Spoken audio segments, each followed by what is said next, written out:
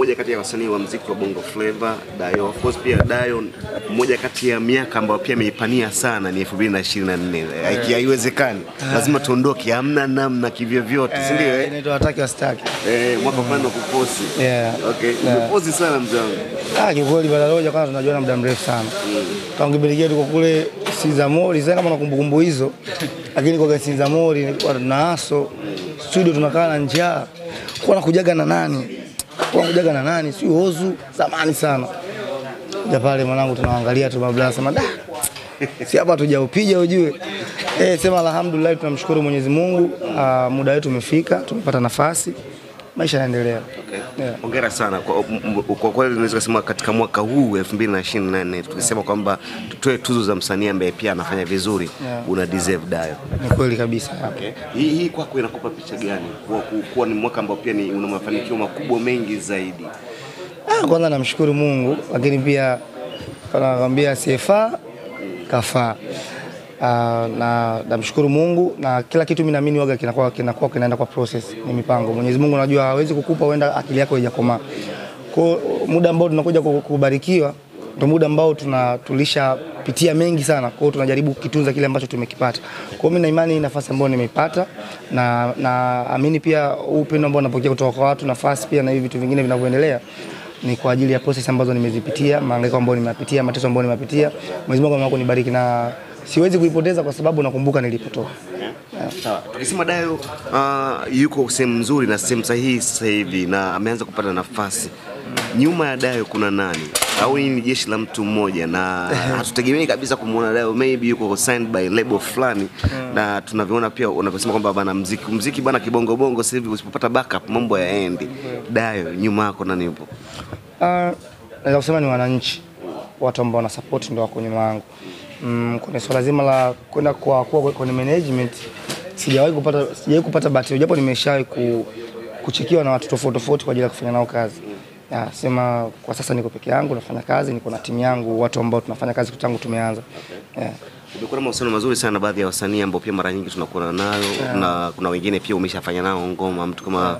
Vivian Boy Rayvan na amekuja pia na mzigo wetu bana. Kwanza yeah. kwanza kumekuwa na bondi fulani nzuri sana. yeah, Kwanza baada ya kupokea simu kwa Rayvanny ama baada ya kuona kwenye mitandao bana, mzee wangu tumechukua mzigo wetu bana, kuja nao Bongo muda sio mrefu. Ulichukuliaje kwanza hii? Kwanza alinipigia. uh. Alipigia kabla hajarudi. Aliponipigia nikawa siku online. Nikuta mimi lake ngapigia. Bro vipi? Hapo naona ashachukua tuzo lakini sijui kama kuna tuzo yangu. Kanambia na tuzo yako bwana. Sema kweli kaniambia yeye ah nilifurahi sana. Akanambia na narudi da kesho nitakupigia tutakutana. Hata ile siku amefika airport nilikuwa mimi nimesafiri. Nilikuwa niko kuna sehemu nilikuwepo. Na ndio kwa swali langu. Eh, kwa siku ambayo narudi mimi ndio siku ambayo nimeenda kupewa tuzo yangu. Nimerudi tu kanicheki, umesharudi? Nikamwambia yeye nimerudi. Kaniambia njoo ofisini hapa. Kwa nikaenda ofisini pale, kanitia tuzo na maokoto yangu. Unajua hizo story kitu. Ah, of course. Okay. Kutoka na mzigo wetu. Yeah. Okay. Sasa uh, ngoma ya, uh, ya mwaka fulani wa kuforce ni, ni ngoma ambayo pia imeenda viral sana. Sasa hivi tumeona ngoma bana, sio kwamba zinalia tu club, ngoma zinalia mpaka kwenye, kwenye, kwenye sherehe za harusi. Yeah. Mimi nakutana nazo sana clip kule TikTok sana mzee wangu.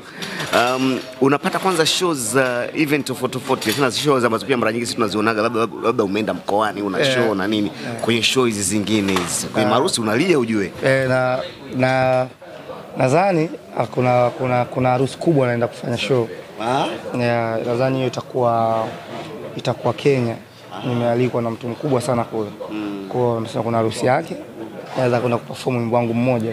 Okay. Kwa nadhani itakuwa ni kitu kikubwa sana, lakini pia show za harusi zimetokea tokea nyingi sasa hivi. Nadhani kuna watu watu wanaoana sana kipindi hichi. Yes. Nimepokea simu nyingine tena juzi ya harusi kubwa tu, tajiri mmoja kwa Mwanza okay.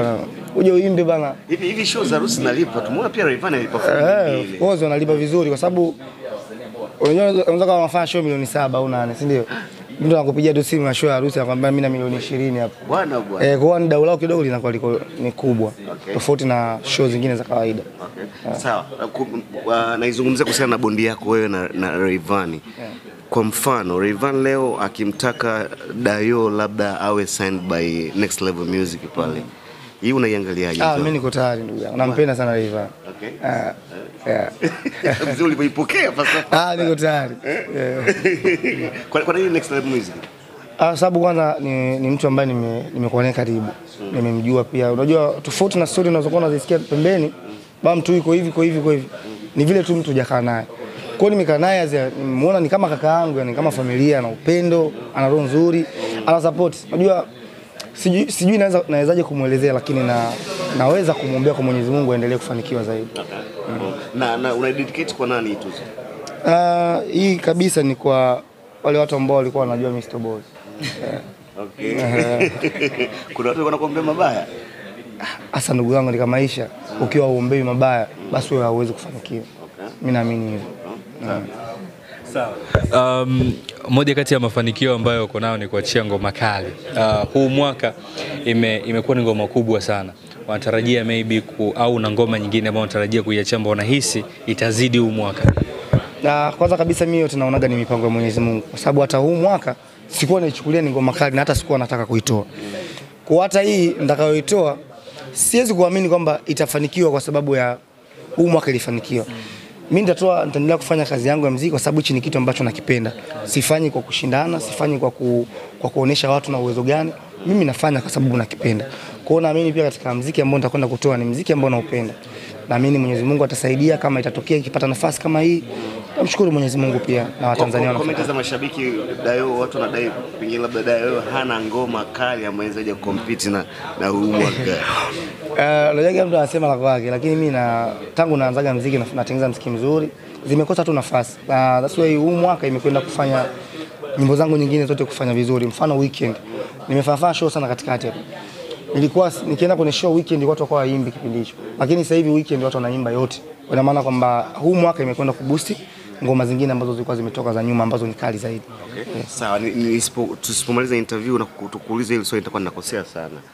Dayo, una, una mziki wa Dayo una mchango una, una mchango gani kwenye, kwenye kwa, kwa mtu kama Mariam Gardner? By the way, pia tumetoka tumepata msiba mkubwa Yeah. na mtangazaji nguli, mtangazaji wa muda mrefu na mmoja kati ya watangazaji ambaye pia naweza kusema kwamba amewasaidia wasanii wengi kwa asilimia kubwa tangu enza za kina Mr Blue, wakina TID, wakina nani uh, Gardner ana mchango gani kwenye kwenye karia yako na na Clouds FM kwa ujumla? Ah, kwanza Clouds kama Clouds nimesema nizungumzie Clouds ndio sehemu ambayo ilinipa mimi nafasi, ilinipa platform kwa mara yangu ya kwanza.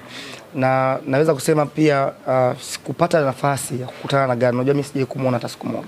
Kwa hiyo sikupata bahati ya kuwa naye karibu, lakini kwa comments za watu tofauti tofauti ambao nilikuwa nawasikia before ya kufariki, kwa sababu ni mtu mzuri, lakini nilikuwa napata nafasi ya kuona uh, mtoto wake wa kike Malkia. Alikuwa rafiki yangu sana, tumeshirikiana na kufanya kazi.